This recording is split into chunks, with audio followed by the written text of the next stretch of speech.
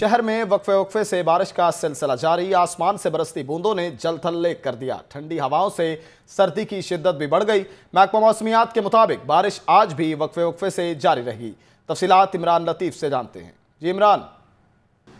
جی بالکل، اگر بات کی جائے تو بارش کی، تو بارش کا جو سلسلہ گزشتہ روز سے شروع ہوا تھا، آج بھی جو بارش کا سلسلہ ہے، جاری ہے۔ رات بھی وقفے وقفے سے لاہور میں، مختلف علاقوں میں گرج چمک کے ساتھ اور مستعدات بارش ہوتی رہی ہے۔ اگر بات کی جائے شہر کے درجہ حرارت کی، تو اس وقت جو شہر کا جو درجہ حرارت ہے، چودہ ڈگری سینٹی گریڈ ریکارڈ کیا گیا ہے۔ محکمہ موسمیات کا یہی کہنا ہے کہ آج جو شہر سارا دن جو سے بادل آسمان پر بادل چھائے رہیں گے۔ اس کے ساتھ ساتھ محکمہ موسمیات کا یہ بھی کہنا ہے کہ وقفے وقفے میں لاہور میں بارش کا سلسلہ بھی جاری رہے گا۔